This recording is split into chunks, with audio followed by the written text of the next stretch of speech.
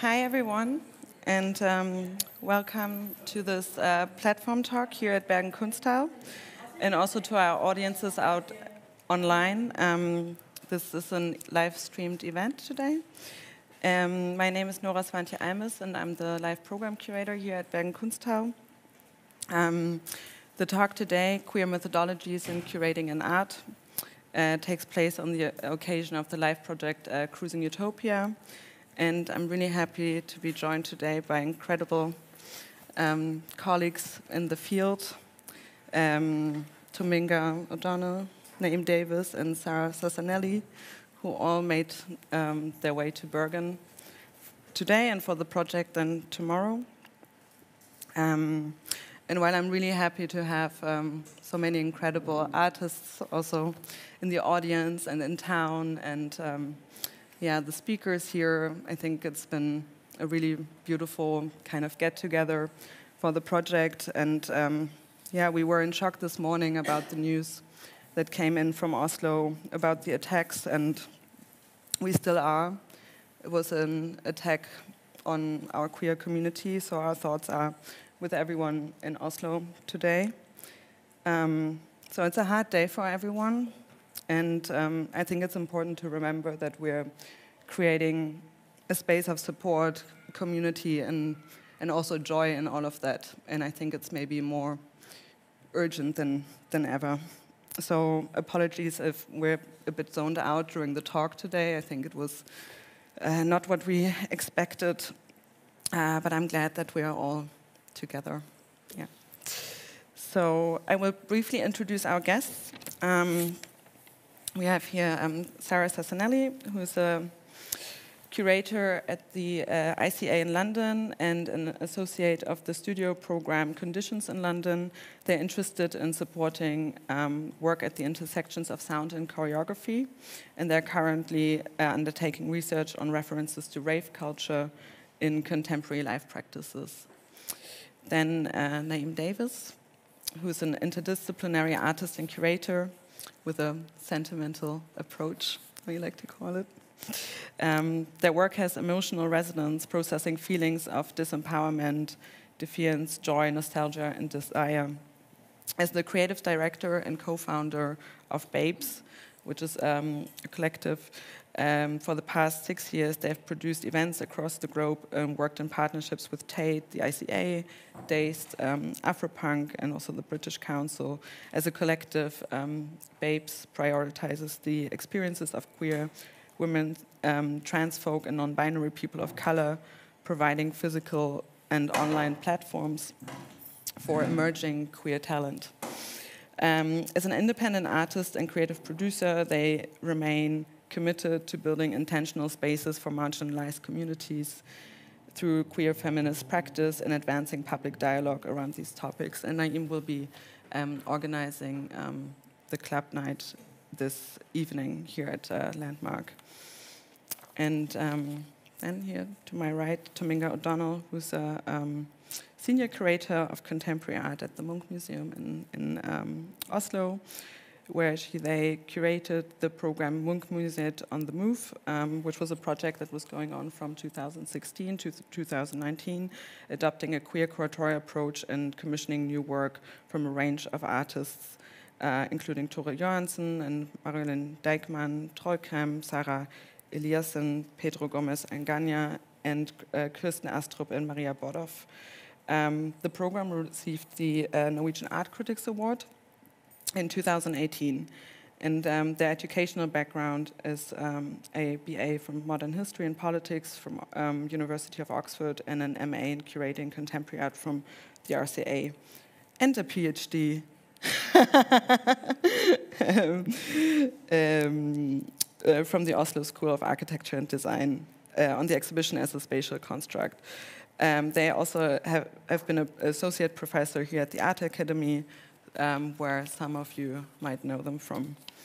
Um, so today um, we will first hear of um, some of the um, really incredible projects that you've been doing and that ha you have done, uh, some interesting research, and then we will just kind of dive into a conversation and have some uh, yeah, a little bit of questioning and discussion, I guess, and then uh, I will open up for questions from the audience. So I'm going to see if my PowerPoint skills here work out. Let's see. Yeah, and. Um,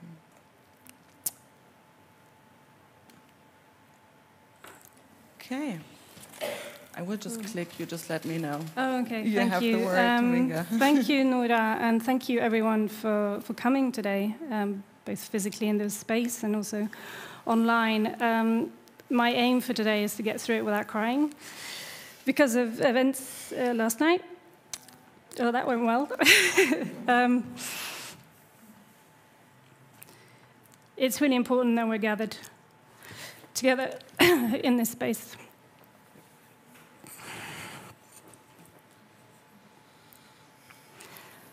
Two seconds. Um, okay, Munch on the Move was a project that I curated um, for the Munch Museum in Oslo. Um, some of my former students who are here in this space have, have heard this talk maybe before. Um, so I'm going to do a very, thanks for the tissues. Um, You will need them. um, I'm going to give a very sort of uh, brief introduction to it because uh, a, a long one t- takes a long time, and I don't want to take time away from these two incredible people who have come flown far to be here with us uh, today. So, um, as a curatorial strategy, Munch Museum on the Move started out as a way of lifting up aspects of the neighborhood that the Munch Museum at Tøyen would be um, moving through on its way down to Bjørvika, which is on the waterfront where this new 13-story building now um, stands. Um, the brief to the artists that we invited was to find some aspect of the neighborhood which they considered uh, marginalized, ignored, uh, or somehow overlooked.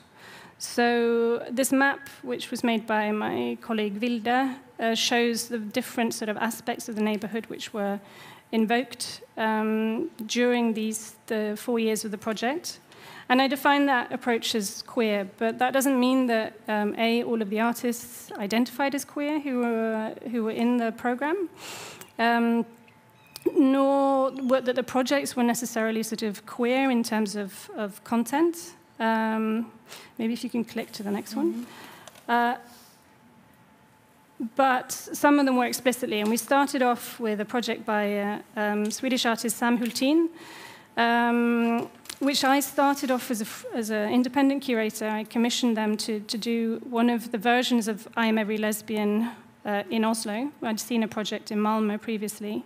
And what um, Hultin does so effectively is to, to, to go into um, local communities and, in a sense, um, extract in the best possible way stories that might otherwise be forgotten connected to lesbian Asterix history. And then these stories are inscribed onto the cityscape uh, from their original location through a sound um, recording that Sam makes, but also through city walks and then this map which hung on the edifice of the Munch Museum, which obviously is a museum dedicated to Edvard Munch.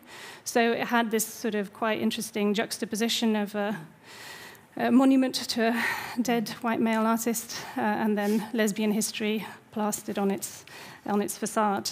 Um, and we had our first city walk under Oslo Pride in 2016. It was a week after the Orlando massacre, so it was also a very deeply emotional moment.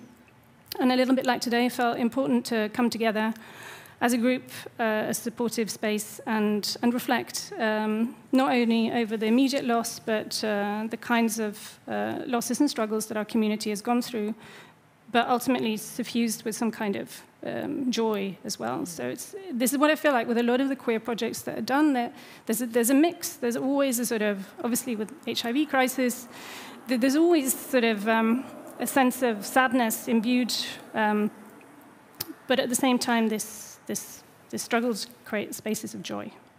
Um, I'm not going to take up too much time, but just click through the next one. Uh, yeah, so this we had a Trollkrem is a, was a performance duo based in Oslo, done incredible performance work for a number of years. Um, Tor Erik Bøe had this um, Pride float for Oslo Pride, Um, we invited extended members of the community together with, I don't know if you can see it, there's a giant homage to um, John Waters in form of a Popper's bottle on the back of this.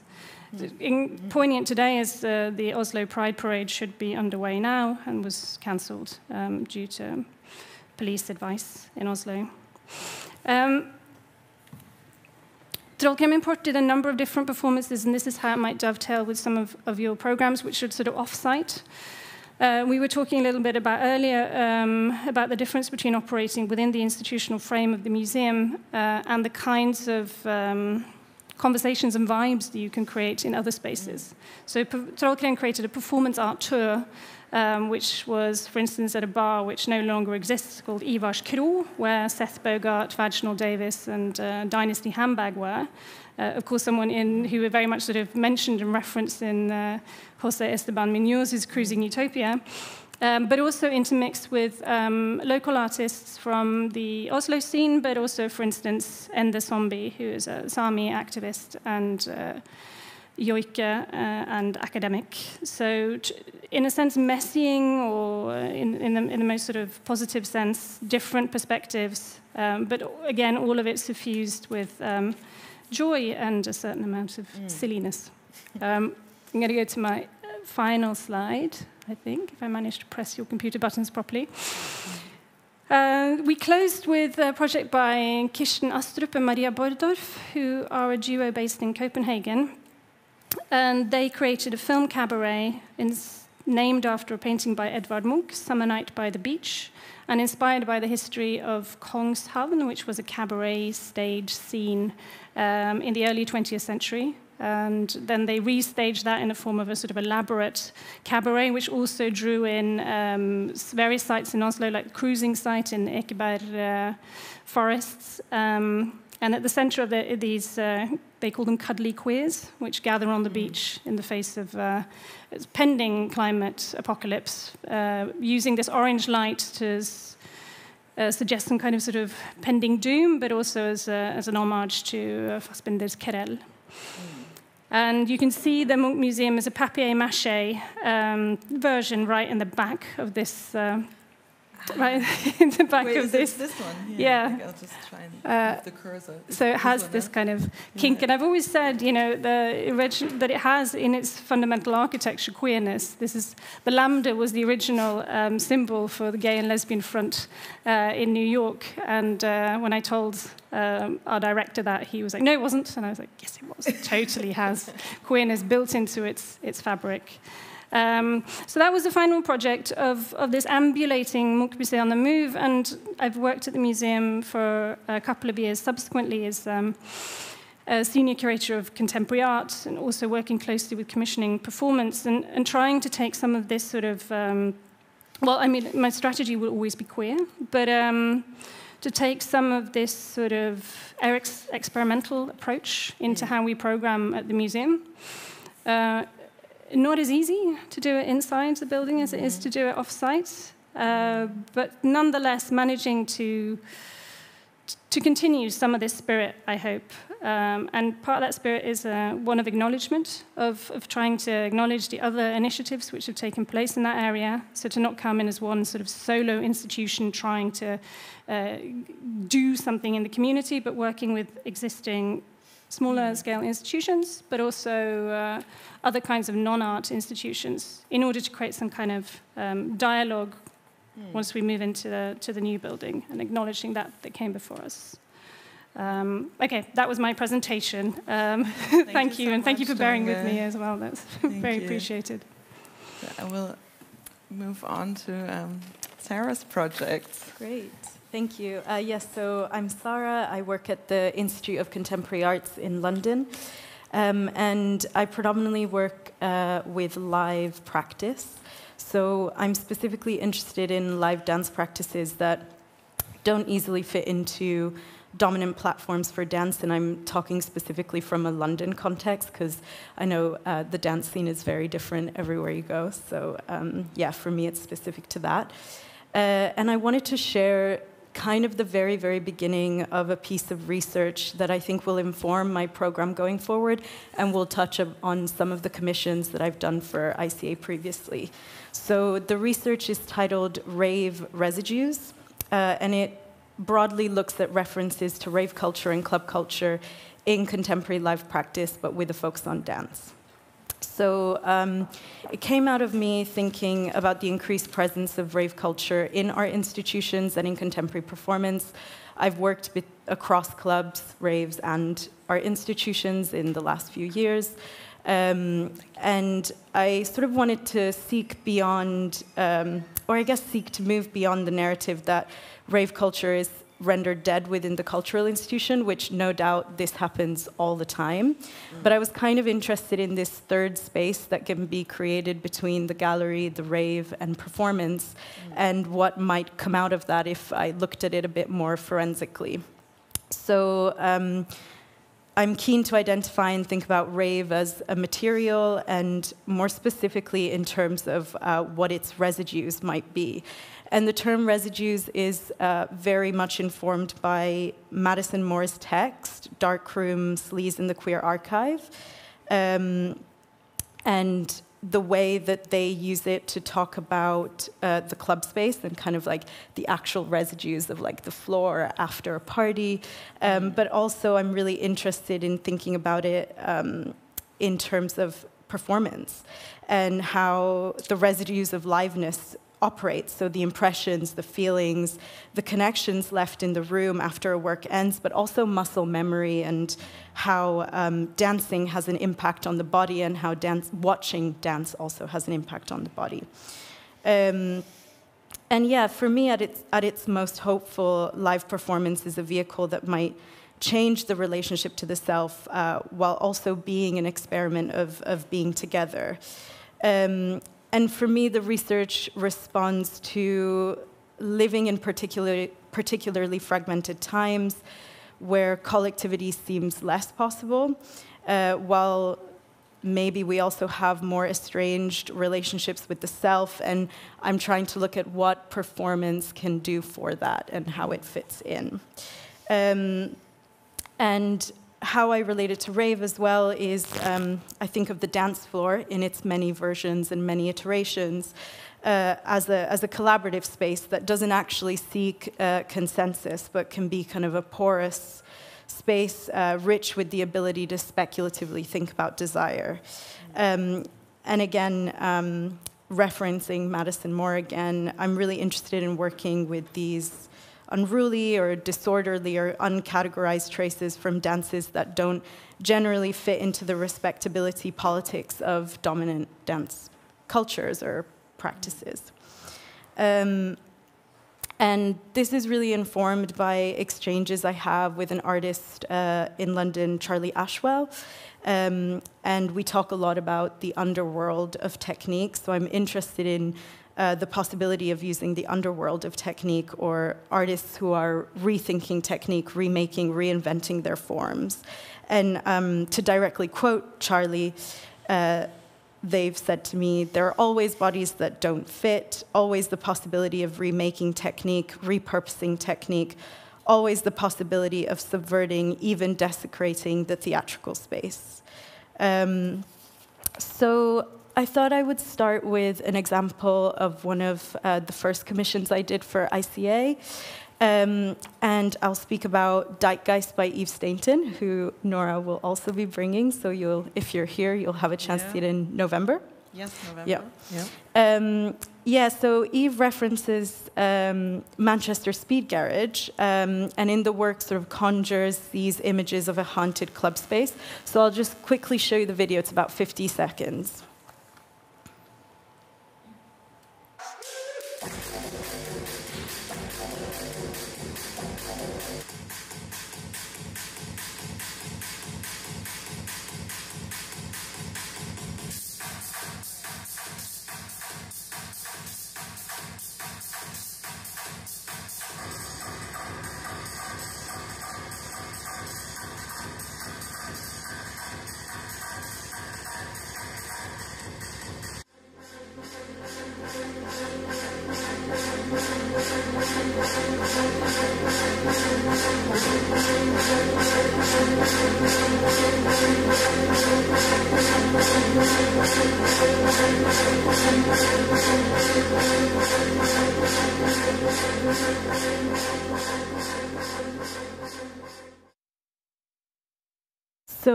Um, that's just a very short amount of documentation from the ICA show, and the score is by Mica Levi, who was Eve's collaborator. Um, and um, part of the choreographic material with Eve's work is um, the relationship between Eve and the audience. As you can see, there's elements of interaction which takes up most of the second half of the work, and there are these kind of intimate exchanges. And throughout the first half of the work, Eve appears disconnected and untethered from the group, dressed in sort of this armor uh, consisting of these uh, raver sunglasses. Uh, and they engage in moments of negotiation in a really simple gesture. They sort of crouch down to the person that they wish to talk to and just lift um, their sunglasses to make eye contact. Uh, and they use whispering and clear directed instructions to involve the audience, and there's always the chance to decline. Um, and then they engage in these intimate movement sequences that range from crawling across the space together, pulling objects out of gravel, um, uh, sort of asking audience members to gel their hair in spikes, uh, or the, the kind of moving down to the floor together that you saw in the, in the video. Um, and the work moves through these different atmospheres, kind of held by the score um, and, and creates these social situations to discuss threat, consent, otherness. Um, and for me, this is really a way into mapping the rich complexity of the overlapping histories of electronic music, its intersection with queer culture, and now its uh, sort of increasing presence in, in live practice, even though, of course, it's, it's always been there. Uh, the second example I wanted to give was examining more what happens when references to rave are less visible but still felt. So I wanted to speak about Fernanda Munoz Newsome's practice, whose work has both literally referenced rave, but also has used its relational experiences as a material. So um, in her work, she often abstracts those relational elements and uses them to guide and encourage a different way of relating to one another as viewers. And she does this through voice and, and direction and gesture. Um, and she's very much talking to the audience as a group. It's uh, less sort of on an uh, interpersonal level. Um, and she's also often inv inverting the gaze by being directly in dialogue with her audience as a big group, being amongst them, moving in proximity, and, and making everyone's presence felt to one another. Um, so I think she really attempts to dissolve this sort of individual practice of witnessing. It's much more about, oh, a collective version of, of witnessing. Um, and so that separation between performer and audience, but also between audience and audience, is, is really vulnerable in, in her works. Um, and I think this is another example of technique that evolves outside of the dominant logics of spectacle. Um, and yeah, uh, this is a work uh, that she reconfigured for ICA. It's called Let the Body. Um, and for this work, she was using the memory of collective dance in rave spaces. So this was like more of a direct reference, I would say. And uh, she was using this hypnotic sound by Shelley Parker, which is actually made of uh, sounds of the movements uh, that are generated through dancing. Um, and I think in this work, there's a kind of deep listening as a form of grounding, but also, really, again, she's encouraging this very sharpened collective perception.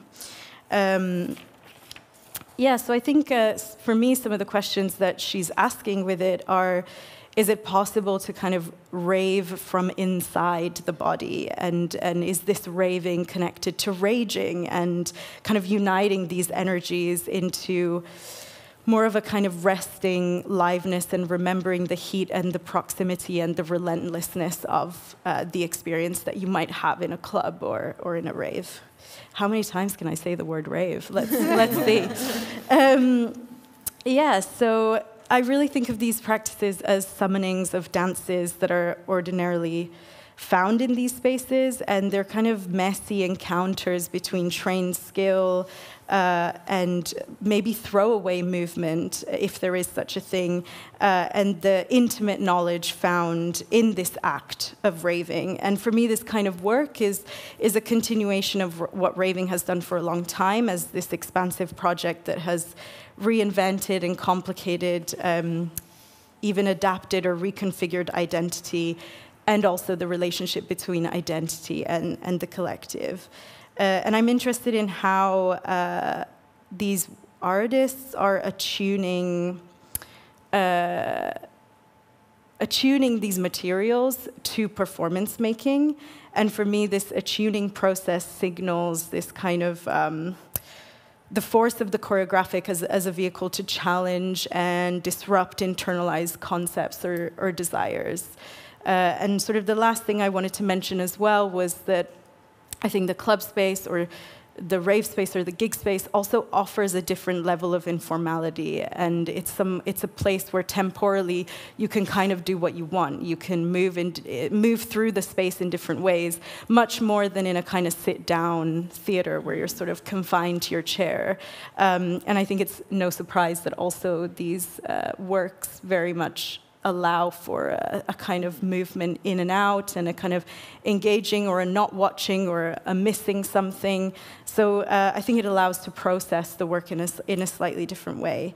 Um, yeah, and I think uh, I'm just really interested in its potential as a kind of more philosophical project, but I'll, I'll leave it there. Thank yeah. you. Thank you so much. Okay, I will test my technical skills here now. Um. You got this. um, uh, my name is Naeem Davis. Uh, I'm a curator, cultural producer. I'm doing it for a minute now, but with no formal like arts education, just love to club. I grew up in uh, strict, um, conservative, Pentecostal, Seven day Adventist church, and as much as the religion clashed with my identity, I loved praise and worship. And if you haven't been to a church before, praise and worship, or a black church for that matter, a Caribbean church, praise and worship is a part of the day where, for as long as it takes, everybody, somebody, praise and worship leader comes up and leads everybody into song and dance and just reverence in general. And people who have been stushed that entire day, rank faced, rude, will let everything come forward, bring all of themselves to that moment, whether it be hand in the air, crying, shaking, dancing, singing it was a moment that I was completely enamored with. And so it became, it was no surprise to me that the club became my place of worship later on in life. Um, that being said, when I came into my queerness and was going to uh, white, cis, gay, homo-normative spaces, I was experiencing the same violence as I was experiencing in church there, but it was different. You know, it was more around my race, my class, my gender, and so I was like, I've been spending money working in these spaces for years. Let me do my own night. Let me create my own space where I could bring all of myself. Which is when I invented or came up with uh, BBZ, which was a club night specifically for queer and trans people of the global majority and black and brown women. Um, while it was a club space and it was important for us, just a space that pe people could bring all of their intersections and we could have a conversation about what that meant. We also introduced performance art, visual art um, that would start the evening um, off and then slowly descend into debauchery.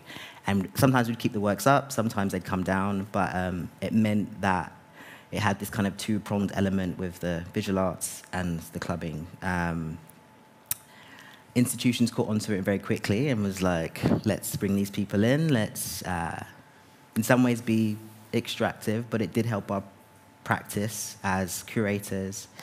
And I think after a while, we became burnt out working with institutions that were mentioned. Um, and we decided to go completely DIY and separate the clubbing from the visual arts. Uh, so we do about two shows a year. Um, that were basically looking at highlighting uh, queer and trans artists, again, of black ancestry, African ancestry. They did extremely well, launched some careers of some really amazing artists that we have today. Um, but again, collectives, under-resourced, um, interpersonal drama. We, we didn't go as far as we'd like to, and the pandemic hit. Uh, but as a solo practitioner, um, I've gone on to create uh, numerous festivals and exhibitions, again with the same, I guess, sentiment of trying to bring all of myself and the artist's selves to the exhibition or to the space. Um, one of these festivals, uh, you might have heard of it, it's uh, called Lesbianale. Um, we actually premiered at the ICA London. And I find talking about it or synthesizing it kind of difficult, so I'm just going to read the curator statement and you can get a gist.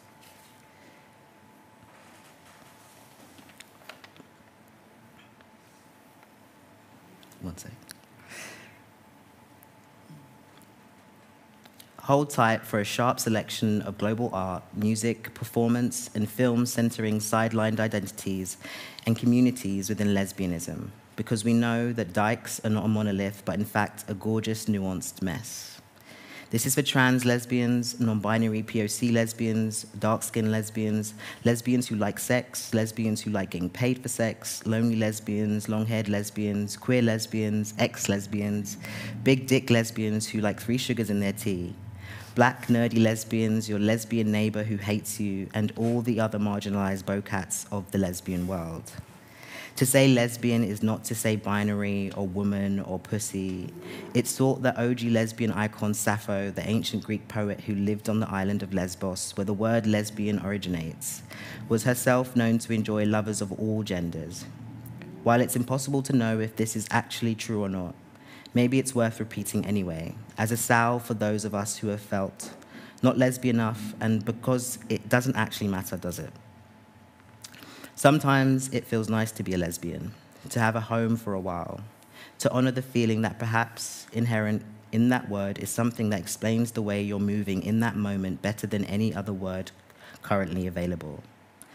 Pansexual doesn't always slap in the way you need it to. the word lesbian is a label, and like all label, it provides a type of freedom via its provision of language to a particular subculture or experience that would otherwise gladly be overlooked by the masses. Like all labels, it is also on some level constricting and exclusive, fundamentally disappointing, and once dominated by dusty white cis transphobic energy inhabitable to many. To many. Who thought it would be a good idea to affix the colonizer's language to matters of body and soul and spirit and sex anyway? Man could never. While it's true that lesbians are angry all the time, it's, it's okay because we're also fucking all the time. We're changing, trolling, loving at all times. We're playing it by ear, sweetie.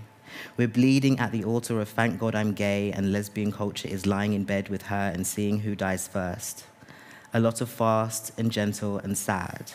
A lot of put it in my mouth now and we can work out what to call it later. Okay, Daddy? Lesbianale 2019 allows us to explore our intersections and complications and fantasies and fears by showcasing art that represents some parts of the huge and magmatic expression contained within the word lesbian. Dig with us through the lesbian archives they failed to destroy, and dream with us of the sweetest sap the Coldest Metal, The Gayest Future. Text by Aisha Mirza. I read that out because it kind of sums up the kind of playful, colloquial, just trying to trying to get more accessible. I know how academic the art space can be, the art institutions can be, and as somebody who is working class, trans, and black living in the UK, I want to invite my peers who are questioning many aspects of themselves and trying to bring more of themselves to spaces, to engage with art spaces. Um, and as someone who's neurodivergent, also just trying to constantly ask myself what part of myself I'm not bringing, and just to remind everyone like art's about play. So that is kind of like the, at the crux of my curation and who I pick to work with, how I work, and it doesn't always work. Sometimes it flops. Uh, it takes a lot of work as well. People don't always believe in it because they're not seeing the structures that they used to, but keep trying. yeah, that's that with me. Yeah, thank you so much. Um, I wrote down a couple of things that I feel that um, kind of um, maybe are um, aspects that all your practices kind of um, um, entail, which is so, for example, the collective or collaborative um, approach was mentioned, moving into different spaces, but also um, the informality that comes with that, and kind of breaking away from, you know, the, the structures that we find ourselves in, I guess, socially, but also um, institutionally. And um, I wanted to uh, start out with the question of um, yeah, the queer approach, because also Tominga, you mentioned that um, queerness in curating an art doesn't necessarily have to do with sexuality, and I think that's really something that's important to um, point out that um, yeah, it can be removed from that. And um, I was wondering if you um, all can maybe say a couple of things about what this queer approach that we're maybe all still exploring as a kind of you know constant learning i feel like that what that means to you in, in all you know in your practices but also working in different contexts um, does um, anyone like to start? Do you want, Do you want to start? Sure, go for it. We can break this rhythm as well. It's not very Yeah, yeah, yeah, exactly. you can just jump in. Um, in no, I mean, I think uh, what has become quite clear in my own sort of queer approach is that I'm aiming for some sort of sense of um, an expansive approach, um, mm-hmm. which we touched upon. In, in, so it's not about kind of uh, necessarily a queer identity, but that's also a way of trying to um, encompass or providing space for people who don't necessarily define themselves as queer, but still mm. want to live or work outside of heteronormativity or heteropatriarchy. Mm. Um, and I'm having a lot of conversations about this um, recently, like people struggling to define themselves. Are they queer adjacent? Uh, you know, are they allies? Um, and I think uh, what's sort of fundamentally queer about such an approach is that it's inevitably slippery. It, it doesn't define an inside and an outside.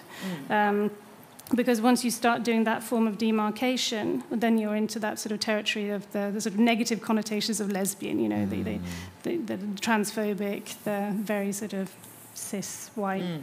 Um, so I think that, that sort of sense of, uh, of expansion is really important and slipperiness and, and mm. evading sort of definition mm. uh, or certain sort of classification, but also. Um, that it's a form of celebration and also a form of um, acknowledgement of that's what I was talking a little bit mm. about earlier, acknowledging the, all the work that has been done either before or being done in parallel to, to what one might be doing as mm. a representative of a large institution. Um, and that uh, sort of seeps through for most things that I do. Uh, and then there's a, a form of um, openness to collaboration, like in the sense that, that maybe you and I have had. Mm. Um, we work in different cities. There's no reason why we can't sort of share resources, try to co-program. So this complete sort of rejection of a, a form of competition, mm. which I think is associated with um, a form of capitalist, patriarchal, heteronormative mm. way of, you know, you have to have been the first. Uh, mm. And if you're not the first, you're the biggest. Um, yeah. uh, and that whole logic to try and sort of uh, get away from that, um, I think, is, is some of the things. And then, yeah, to try and have some kind of pockets of joy. Yeah. And allyship, I guess. Yeah. I mentioned mm. earlier, not to take up too much time, but the, as an artist, Marnie Slater, uh, who talked about specific tools that one might want to use, and that uh, she talked about using a map of allies. Um, one partly is the people that you, you turn to who are your sort of personal allies, but also where they are in institutions so that mm. you can, because it can be harrowing sometimes looking at the, the art landscape mm. and then thinking, oh, it's, it's all, you know, the worst aspects of the Venice Biennale preview days. Um, and, and, it isn't necessarily. There are some really thoughtful, warm, queer, queer adjacent people working in institutions, and remind yourself that these people exist. And I think something as literal uh, as a map of where they are just can be really kind of reassuring and heartening. Yeah. Yeah, I can definitely empathize with that. I, when we first started working on BBZ, I remember we were quite militant. Like we would uh, policed the door in a way that and we ended up turning away people who we just assumed their gender, assumed their mm. sexuality. Well, I didn't, but the people on the team did, and um, we kind of had to just question ourselves because we would we would get people. Um, DMing us saying that this person was there and they're not trans or they're not queer or they're not this or that, and just assuming people's identities, but also their experiences and why they're what their intentions were at the night. So we had to change the language around it to, um, you know, just we want people, rather than turn anyone away, we just want you to consider how you're contributing to the space and why you why you've come. Um, but yeah, language has moved on so much, and like ideas around queerness have shifted so much. And I used to be someone who ex- exclusively worked with like queer people of the global majority, and I realized I need allies, I need accomplices to get anything done. And yeah, my my approach to language. Even like when we um, came up with the name lesbian Lesbianale, we had to work so hard to think about how we squeezed ourselves into the term and created room within it. Um, but yeah, it's always evolving, and I think that's a big part of my practice as well. Is going at any given moment, like what have I learned, and then what? How do I feed that into the work and the curation? Yeah, I think about evolving as well, and also a kind of healthy, or yeah, I try to practice some kind of healthy dose of ambivalence to whenever I feel like too fixed on mm-hmm. something. Mm. Um, uh, which is interesting also in relation to like what that means then if you're thinking about creating tools. Um, but I think both things can kind of coexist. Um, and I guess like I think a lot about hosting in my position at ICA and what it what it means to work collaboratively with artists. And I am drawn to kind of more informal uh, relationships of exchange. Um, and I think that also sits well within performance because often that it, that can be an incredibly collaborative practice when you're producing somebody's show. Um, so I think that for me, it's it's really connected to like also working from a place of either friendship or a place where friendship can emerge, uh, which I think can be really quashed by the sort of over professionalization or like the kind of careerist attitude mm. that the art world fosters. So I think I try and kind of wedge myself in between those things. Yeah, and I guess that also goes back then to. Um, yeah, allyship and how to how to find each other, I guess, and how to connect. And I think that um, yeah, just a map would be definitely first like very helpful in that. But um, I wanted to um, go back to this word um, infiltrator that Naeem uh, uses quite a lot because Naeem um, works as an independent curator and kind of very differently to all three of us. Um, and kind of enter spaces that are maybe not uh, yeah not not ready to accommodate appropriately and you know it's a lot of navigating but i wanted to go back to this word inf infiltrator. word infiltrator which i quite liked um, yeah. I think I came up with the term, well, obviously not the word infiltrator, but like in reference to um, uh, the art industry in that like every time uh, I had an experience with an institution, it was mostly because somebody there on staff who had just realized something about themselves or wanted something to change something about the institution had brought us in and they did so much work to protect us. Um, they, they were like just a, the solid conduit to our work and then the access and resource that the institution had for us to amplify our work. And I would always tell my peers, like, remember so and so because they're doing that work. They, they have to deal with that every day. And often they were black and brown um, people, often women or trans folk in these institutions where they weren't necessarily accommodated for themselves. So I would always say to my peers, like, yeah, like, let's celebrate this person, check in on them. If you if you have access to something, bring them in also because these these infiltrators are our saving grace in terms of like being sustainable as independent curators and artists. Mm. Yeah. yeah. And um, the other aspect I kind of wanted to take out a bit is um, so, for example, you two work with club, club spaces quite quite a lot, and um, to it's also quite an um, yeah, it's an ephemeral space to be in, and also working with life practices, something that we, we, we all do, I guess. It's always this, um, yeah, there are these short moments of, um, you know, getting everything right in that moment, and or not right in a performance sense, but a lot can happen maybe.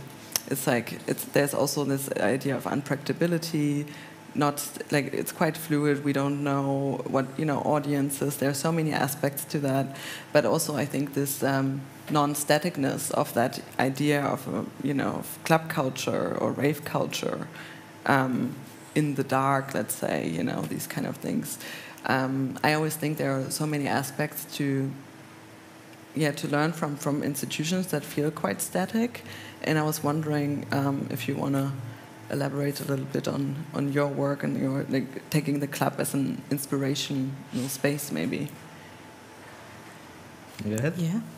um, yeah, I guess it goes a little bit back to what I said um, about how, it, to my mind, the club is kind of an inherently collaborative space. Like on its kind of basic level, it's like everybody makes the party, like everybody makes it happen. Mm. Um, it like can't happen with just the DJs in the room. It can't happen with just the people in the room. Like there's a kind of alchemy to it that I think is is its its strength, and uh, and it's sort of that's sort of what conceptually inspires me to think about the club as this kind of fugitive site that can't really be pinned down and that can sort of escape a lot of things that are trying to kind of trap it down. Mm. Um, and and I guess for me that's uh, that's somehow how I'd like my curatorial practice to feel. Whether mm. I succeed in that or not, maybe I'll reflect in like 20 years and figure it out. But um, but for now, it's kind of what what draws me to it, and um, I think also because for a while, the the club was kind of being um, I guess, co opted by a lot of different institutions. Maybe you have many thoughts about this. um, and, uh, and I really understood the critique of, like, oh, it's, it's just kind of being rendered dead by this space and, like, the architecture or, like, the all the myriads of things that can go wrong when a club uh, is, is being hosted by an institution. Um, but when I had this opportunity at ICA, we can get a very late license till six. Well, for London, 6 a.m. is a very late license. For not not oh for here too, maybe yeah. not for Berlin, but that's okay. And um, yeah, so uh, having this late license and the potential to work with uh, Inferno, who are a a queer techno collective based in London, um, who I have like a, a, very good relationship with and a lot of like mutual solid trust. Then I started to see like the possibilities of what could actually happen if you sort of had this third space, which is for me is like what is the gallery giving you that the club isn't, and what is the club giving you that the gallery isn't. Mm. And I was I was getting really interested in exploring that and. Uh, yeah, we used the, the cinemas and we used the theater for performance, but then we also had music running until six. Um, and it, and it was just really wild. And I think like the kind of wildness of it was, uh, was really exciting for me in that space. Um, yeah, so I think mm. that's how I kind of, th this third space that it creates, I'm still trying to grapple with and mm. understand what it, what it can offer. Yeah. Can I ask something um, mm. potentially mm. controversial? Because sure. I'm sitting here thinking, and, I, have been in this space before, uh, celebrating club culture and talking about it. It's such a wonderful space, but it is uh, almost invariably ableist and ageist, mm. um, among other things. So when you were talking there about how the gallery can provide something that the club can't and, uh, and vice versa, I was wondering if that was something that you sort of thought about in relation to yeah. Sorry to throw this at no, you no, completely I, out the blue. I think it's a it's a fair, really fair question. Yeah, I think Inferno. The reason I also like to work with Inferno is because they think about those those elements as like kind of a core part of their practice. I don't find the ICA building a very accessible building, and I think most of my colleagues would uh, would agree. It's a really old building. It has um, like it's very un unlevel. Mm. Um, it's the where we did do the club is totally level mm. access, but I still don't. I mean, also access means many many different things, um, and I think also in terms of ageism, I find that really interesting because um, the clubs that I've recently experienced feel quite intergenerational, but there maybe they're like specifically contexts that I'm around in London. Um, but I, I would say that gener generally the club, like, I mean, the club is also complicated, I think, because what is mm. the club? It's like there's not really a monolithic. Mm uh, club. So I guess I'm I'm the way that I would enter that question is like there you always have like an agency as an organizer to like stretch it or make it or reach the right people and or the people that you think you would like to reach and i think it was interesting what you said earlier about you saying that you were observing who was not in the room and how that would like inform um, how you would move on in your practice and i think that's really resonant and that's like all you can really do in those moments when you realize that uh, there's that you've like missed something out mm. and i think it's something potentially that institutions don't do enough of it's like that reflection mm. moment of who haven't we reached who isn't here uh, and and also more importantly why because i think also institutions maybe are doing the work of who isn't here but they're not doing so much the, the why. And that's something that I'm also kind of increasingly learning, especially working with performance that often also includes touch or participation, mm. which is not something everybody is up for, mm. and nor, nor does it have to be. Yeah. Sorry to hijack your. Uh, oh no, your no, that, no, and uh, you know, you're free. Please feel free to ask each other questions. I think that's quite interesting, actually. Thank you. But Naeem, did you want to uh, share some thoughts on the working in these club spaces and then maybe bringing these experiences um, back to the, you know, the the art projects or potentially institutional spaces? I thought your question was really interesting in that, that about the, it being like essentially a bit ableist and inaccessible and not intergenerational enough. And one of the first things we ever did when we were putting together what Babes was, was to draw on the club, but also draw on like our origins and understandings of the party and the party space. And for us, it was a lot of hall parties, African parties, West African parties, Nigerian hall parties that were centered on everyone being able to be there, from mm. children to older adults to people with like mobility issues. And so we always think about those components of like what made that safe, what made that accessible. We always have food at anything we do, and, and it's usually Caribbean or like something from one of one of our cultures.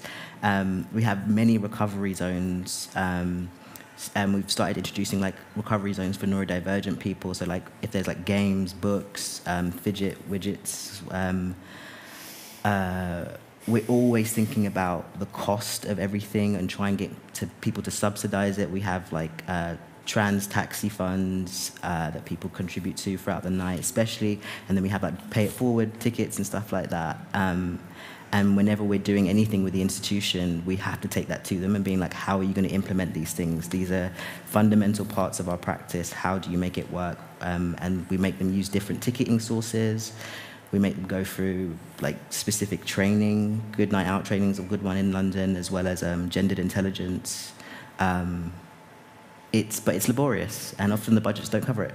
Mm. But yeah, um, it's always possible but um, comes with a lot of work. And now we're at a space where we can ask for the kinds of budgets and we can we can take a little bit longer. Like every opportunity we used to get, it was like we need to get in there now and make sure mm. it happens. Now we're like, okay, let's give it 12 months before we put this on and really, yeah, make it what it needs to be in order for us to have everybody there and mm. understand the why as to why they're not there. Mm. One other thing that came up, I guess, in, in all of your presentations as well, is this um, idea of the um, collective and the indi individual and you know working together i think.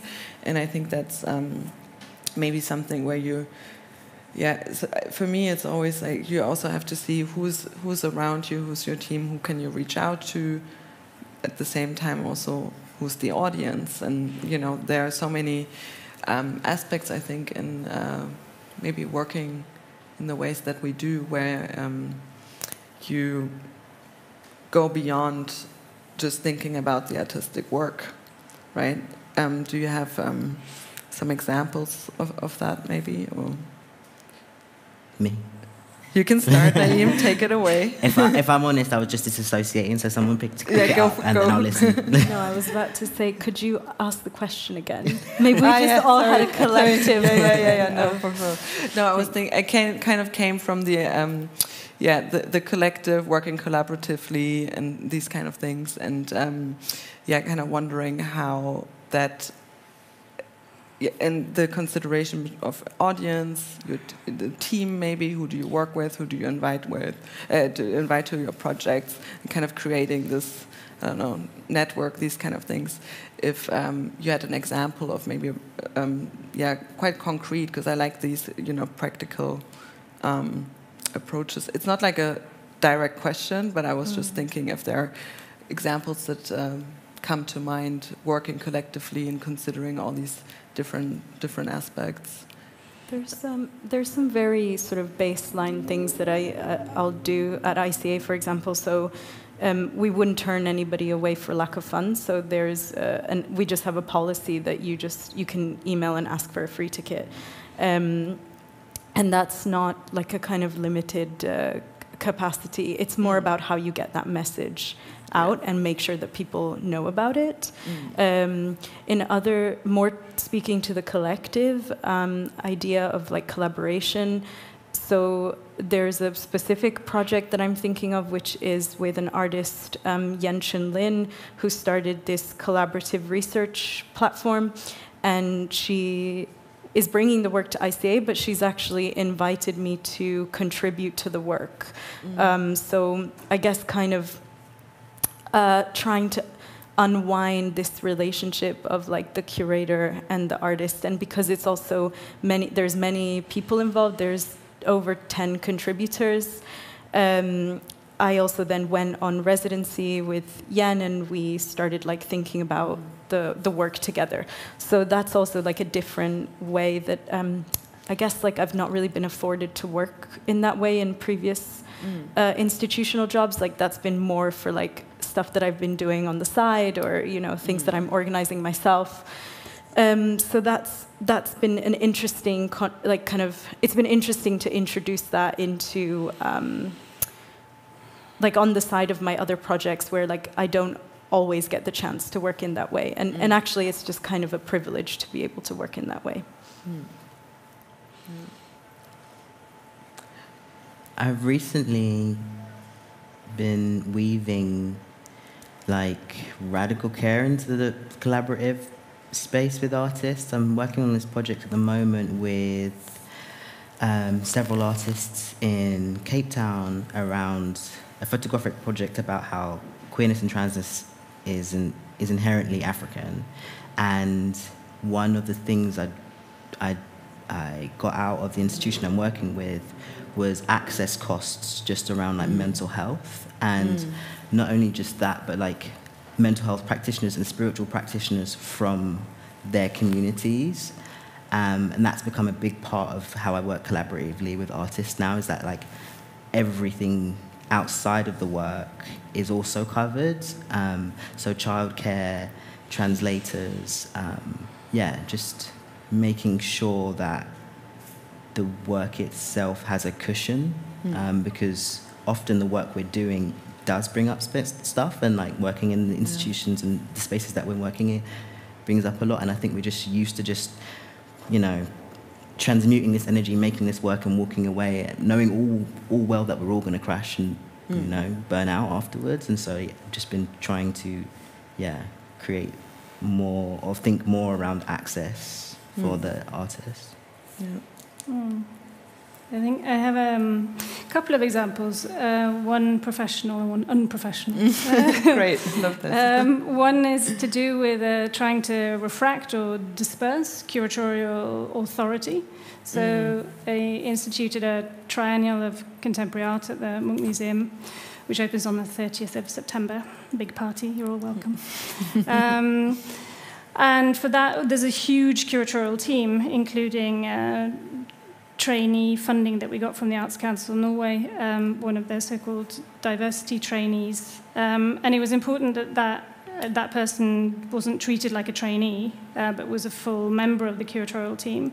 And that also includes like the more junior members of the team or people who've come in at a later stage. And, and I call that professional because it's to do with the currency of how careers are made, right? It's important for them to have that curatorial credit mm. on their CV. And I'm very happy to give it. It doesn't cost me anything to share that. Um, and then provide, try to provide that sort of mentor, mentorship and support mm. along the way so that they don't feel lost um, and get given too much responsibility too soon. Um, so I think that's been the one really important thing just within the sort of institution. And the other one that we've started with quite recently, um, I'm probably sorry to say, is to there's a sense of like to be a professional within the workplace. You leave everything to do with the private sphere outside, right? You, mm. turn up to work and you're and you've got your game face on. Um, and to try and uh, to get rid of that in a little bit. And, to, and this is mm. stuff that people, I'm sure you've been using it for years, but you know, checking in with people, how they are. Um, in other parts of their life mm. so that they feel comfortable when they come to work. I'm going to have a bit of a shit day today because you know I didn't sleep well because of this or my mother's ill or th- mm. those things are allowed to, to permeate into the working environment because it means that you get a completely different relationship with the person that you're working with. Um, and it's super simple as a tool and mm. it's so sort of effective and you feel like you just you know people in a different way you can be supportive to them in a completely different way as opposed to game face, go and cry in the toilets. Mm. Um, so yeah. yeah. Thank you all. Maybe we um, open up to questions. Do we? Do we have any? Yeah, first row. I, have been bullied into giving a question. I haven't. I do actually do have a question, um, and it might be coming uh, from a slight institutional position, I guess, but I'm interested in archiving. It's an obsession of mine. And I just wonder how, how if at all, uh, does an archive come out of the productions that you make? Uh, and I'm assuming that it might also not be interesting to archive, so I'm kind of keeping that open. But maybe, um, yeah, whoever wants mm. to to share some question. archival ideas.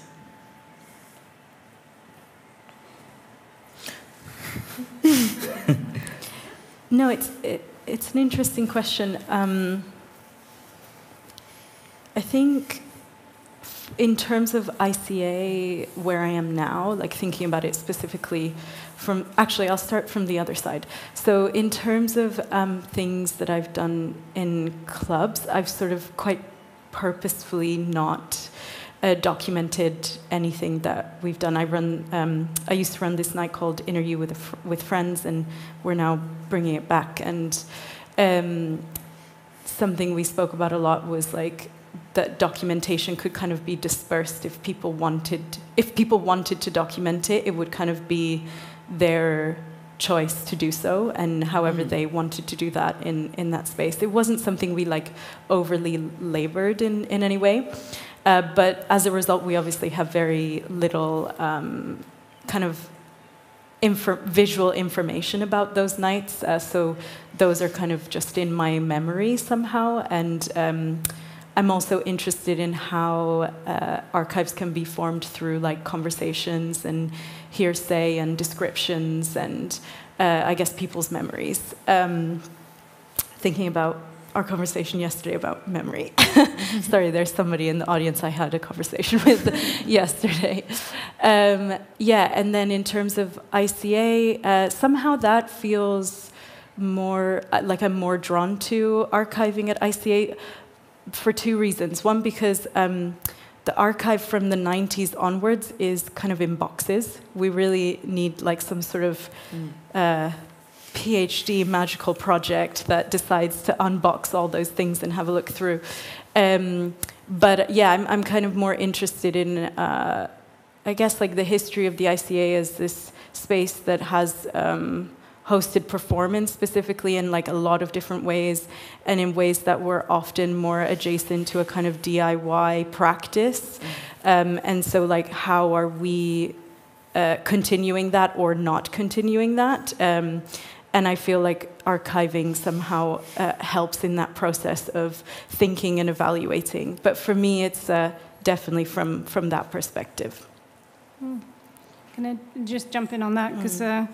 uh, uh, I mean, the Munch Museum opened in 1963 and was a site for a number of kind of live art movements. There was a Dada Festival in 1967, for instance. Um, and I think part of that archiving that was, took place as, um, during that time means that, in a sense, we have an excuse to mm. continue.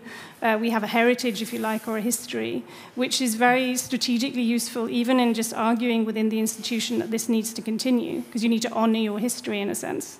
Uh, so it, it, can be really useful for that. And just to draw up uh, Trollkrem again, the, the image that you saw was taken by uh, Norwegian photographer Maria Parsenau. So um, Tor Erik was very uh, clear that he wanted performances documented, but he wanted them documented through still photography, um, and he wanted it to be an artist. Uh, so that becomes the documentation becomes an artwork in and of itself. And, and that's quite a nice way of, of doing it um, because you can, of course, never recapture the, the mm. live moment. And this is the inevitable discussion mm. that we always have when it comes to performance. You know, how, does it, how do you represent it when it's not happening as, as a live mm. thing? Mm. Um, but I think that kind of documentation is super important for a gazillion reasons. Yeah, I think it's interesting what you just said because it reminded me both of Fernanda and uh, Eve, actually, the decision on how that those works were going to be archived was to actually make films of them, mm. as in like completely separate works mm. that somehow would uh, operate as really separate from from the performance work itself, but obviously still still connected. Um, and again, I think both. It was interesting because both the conversations I had with Eve and with Fernanda were also about um, inviting somebody in, like a filmmaker mm. in. So it wasn't really about documentation, it was actually about another person's interpretation. So this kind of constant transformation that anyways happens in performance when you're collaborating. Like even with a lighting designer, they kind of are gonna sort of yeah. choose what the audience sees in a way, or like th there's a lens happening in some mm. way. And so yeah, I think also really interested in thinking about things that seemingly can't be archived, but then when they are, there's like these inherent decisions that are being made, and what can you trace through those decisions that are being made is, I think, is a really interesting process. Yeah, agreed. Um, uh, do all of those things, and um, but I also because I think a lot of black diaspora rely on oral histories. Mm. Um, we have taken to creating like a kind of personal line amongst all of the um, black and brown organizers, queer organizers of like parties and art institutions and art spaces, a sort of like phone line where we all send voice notes and um, recount experiences of club nights art spaces, um, and it's just become like a little vault of ours um, that hasn't yet to be open. But I know we're going to do something with it eventually. Mm. But I mm. thought, yeah, that was just one way that we could also um, hold anonymity for people because as much as I used to document every aspect of everything, and when it came to releasing it or using it for anything, finding those individuals and then finding out if they're queer, if they're safe, if you know, it was just mm. it was near impossible. So yeah, the oral oral histories and also the easy access of WhatsApp. Like it's a great mm. um, archival tool. Yeah. Mm. Yeah, I guess it's uh, again about kind of um, finding alternatives to how archiving has been done and how it can serve the purposes that we we need them to, to mm. yeah, to fulfill. Are there any any more questions in the audience? Don't be shy. I'm almost going into like uh, teacher mode where I'm like looking at my former students, be like, you should be getting involved here. But I've finished on, at KMD, so I should no. leave you alone on, your, Saturday. And you've left as well, so you should be left alone. But I will corner you later. Why didn't you ask me a question? Okay, let's. Yeah, Kato. yeah, in the, Kato in the back here. That worked. Guilt people into doing it. like, I'm looking at my students. um, I was just wondering um, when you've been approached to um, do club nights and invited by institutions, has there been a form of resistance uh, to not do that? Uh, What from our community? Uh, uh, from you as an organizer, I would. Uh, Oh yeah, loads. Yeah. Yeah. Said no to loads of institutions. Um, the only time it's ever made sense is if it was in line with maybe a work that was showing at the time, or we knew the artist, or we knew the infiltrator who was asking us, and we knew that we'd be protected and that they would abide by our practices. Um, but we've also had call outs from our community when we've announced doing something or call ins from our community about doing something, and we've had to listen because that's our audience, that's our community. But yeah, there's definitely been resistance with the, with the, yeah, there's loads of reasons to say no to a lot of people. Um, and also, just at the end of the day, the party is um, celebrating a group of people, and if they don't feel like they have access to that space, or it would be an anomaly or oxymoronic to have them in the space, then they just won't. Mm. Uh, what about you?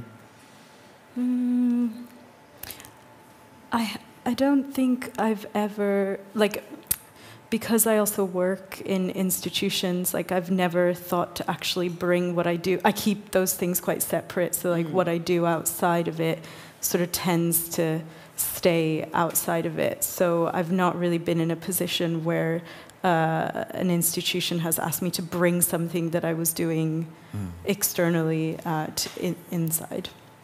Mm. And don't ever say no to anything. Seemingly, just, um, but that's also because I've been a little bit, like you were describing, institutionalized um, for so long. But I think that, uh, I mean, as I said initially, the Sam Hultin I'm Every Lesbian project was initially something as done as a freelancer. And I had a lot of conversations with them about how do you now feel from working with an independent curator who got some money from the Arts Council uh, was looking for venues to bring it to, suddenly being a institutional curator, and then also in this space. And that was ex- exactly at the time that the Munch Museum have done their sort of Plus Munch series, where they paired the work of Edvard Munch with six white male artists. Um, so it it came at a really uh, interesting point in that uh, museum's history. But I think some, and that was to do with the amount of time I think we spent together and the trust that we built up that, so that I could function as an inf infiltrator or conduit for, for their project um, and take all of those battles that the artist doesn't need to see um, and to kind of, whether it's to do with uh, fee for doing it, where the work should be, what kind of kind of technical support should be given for something mm. that's going to stand throughout the whole of the summer, um, to, to do all of those kind of yeah to take on the, all of those battles on their behalf. Uh, and that was the conversation yeah that we had. Because I wasn't necessarily uh, sure that somebody would want to do that. I mean, it's, it's a sort of con- difficult space to take a project which is that sort of sensitive and community oriented and then just sort of slap it on the wall of a museum which had, at that point, very little history of working uh, with queer communities. Um, but it was also necessary on the path of, of making, of queering that institution, even to the point of just making the word lesbian roll off the tongue of the director in a slightly more natural way than it was originally.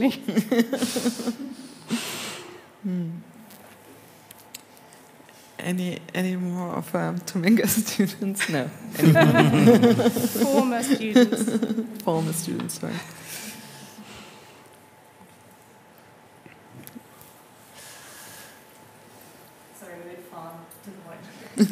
Uh, thank you so much uh, so far. I was just wondering if there's any project you are currently working on or it's boiling in your head somewhere that you're particularly excited about. So many. Uh, yeah, I think this the the research that I presented is like the very very beginning, and will need like a lot more um, time. So I think excited to do something long form because I'm yeah trying to also like slow things down a bit and not just kind of churn programs out all the time. Um, I think that makes for a better experience for everybody involved. So yeah, I think for me that. Um, I'm throwing my first ever outdoor live music arts and culture festival in London in September by the name of Overflow, and I'm just so excited to do something on that scale post post um, post Coco. Um, it'd just be a great way to gather, and I feel like uh, in London, obviously, we have Pride and we have Black Pride, but there's nothing that's like of that scale, and that includes arts and culture, and comes from the kind of holistic space that I'm trying to come at when it comes to festivals and festivaling. So yeah, I'm really excited to get that like up and running come September. Please come if you're in London. Mm-hmm. Yeah. Uh, yeah, I've, uh, well, I'm excited about the Triennale opening. Um, we, it's not billed in a sense as a queer project, but about half the artists in it identify as queer. Um, we're having a seminar on the 1st of October um, from 2 till 6 in Oslo, where the keynote is Jack Halberstam. Um, whom I then put in touch with Nora. So he's also coming here, folks. Yes, the uh, day after, 2nd of October, come back. Sorry. I prefer, no, good, good, good We're just plug. so happy about it. We're so excited. I mean, I, I, was such a dork at times, just like seeing Jack Halberstam's name in my inbox, in my email. And I was like, this is a moment and sharing it with my, my colleague. Um, and that is sort of, those moments of excitement are just like really, they need to be celebrated, right? Uh, so I think that's going to be super interesting. And, and having him give the keynote and shaping the, the triennial is called The Machine is Us, which is a quote from Donna Haraway, um, and deals very loosely with the relationship between uh, art and technology. Um, but I think by putting Jack Halberstam at the sort of forefront of the seminar, we're grounding it in a, in a, in a queer and a, a trans experience and how technology affects, or disproportionately perhaps affects um, queer and trans bodies. So I think that's going to be super, super interesting. I'm really excited about it. Um, I mean, I'm such a fan of uh, Jack Halberstam, I might just follow him to Bergen to watch the talk one more time. yeah, welcome anytime. um, yeah, are there any, any more? Yeah, there's one. Great. Thank you all for your wonderful talk. I'm a little nervous in public. Um, but I, li- I lived in the Black Cap, which is uh, LGBTQ pub in Camden, um, in London, and it, uh, it closed. So I was thinking about the closure of queer spaces and the effects that this has had, particularly in London. Um, Thank you so much. And then I was thinking about residue and that being linked to rave. And then I also thought the fact that a lot of the events that you've organized are in people's memories. So I wondered if you could, like, maybe there's a correlation between thinking about the materiality of rave um, and the loss of these spaces um, with memory in the same way that sweat kind of evaporates. Mm-hmm. Mm. Actually, that, that text um, that I referenced uh, by Madison Moore, the um, Dark Rooms one, uh, uh, I'll just get the full title for you Dark Rooms Sleaze in the Queer Archive. Um, that actually is really relevant to uh, what you were just saying, uh, specifically in terms of uh, sweat and what, what's kind of fugitive and what can't be captured.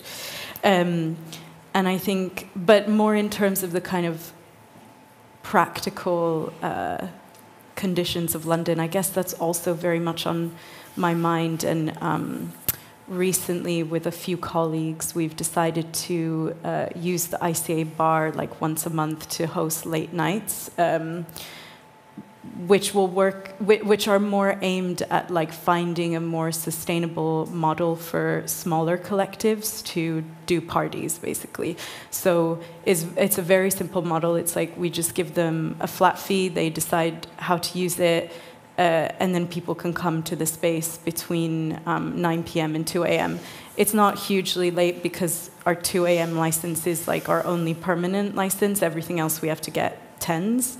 Sorry, this is a bit like specific logistics, but I think it speaks to like the kind of wider lack of infrastructure in in London for. Um, maybe also just like more low key parties mm. because I think everything is really channeled into like there's a lot of spaces that I go to that I feel like I walk in and then I'm sort of immediately um, uh, sort of guided to the bar. And I, I also don't drink. So, like, for me, that's not like a particularly pleasant experience or one that I seek. Um, so, also thinking about, like, I suppose, like, how to allow for spaces that can be, that can have a more low key register that can sort of evaporate, that they don't need to be, they don't need to have this kind of constant longevity, because I think then that can also slightly um, go into this realm of how clubs are operating now, which is just like, how much are you going to make on the bar? Um, do we want your collective? Does it bring enough people who are going to spend money on the bar? Mm. Like, there's not a lot of other ways that uh, clubs are operating at the moment. Mm. Um, and I, I'm really interested in this idea of like, does something have to last forever? no. Can something live on in a memory? Yes. And what, what happens in those moments when something ends? Damn, yeah, um, yeah, and really beautiful question. Sort of uh, bowled over by the poetry of it that I wasn't formulating an answer. Mm. Um, but I think, uh, not to bring it back to what choked me up earlier, but the only one sort of permanent uh, queer place in Oslo is the place that got attacked last night, the London pub. And it was also when you were talking about intergenerational spaces, um, probably one of the few spaces that was truly intergenerational um, as well, where you have the entire kind of range of people, also because it had a late license, so it's where, where people would go after other, being at other sites. Mm. Um, and there was a show, I think, at uh, the Whitechapel a couple of years ago, mm. or oh, God knows, um, yeah. with COVID, whether it was four years ago or two, but that sketched out all of the different kind of queer places in London. Uh, and it was so, so, so sad to see all of these like wonderful, um, really important community spaces that just now were a sort of prick on a map um, and some, some images perhaps and sometimes not even that. And maybe that goes back to Anna's, at least when it comes to archiving, um, at least archiving it well so that it has the opportunity to live on uh, mm. in people's memories. Yeah. yeah. All right, any more burning questions? Then I thank you so much you. for being here and for everyone that, that came in this beautiful weather today. And um, yeah, I hope to see you all later um, at, um, at Landmark, maybe, or stick around for a chat if you like. But yeah, thank you to all of you.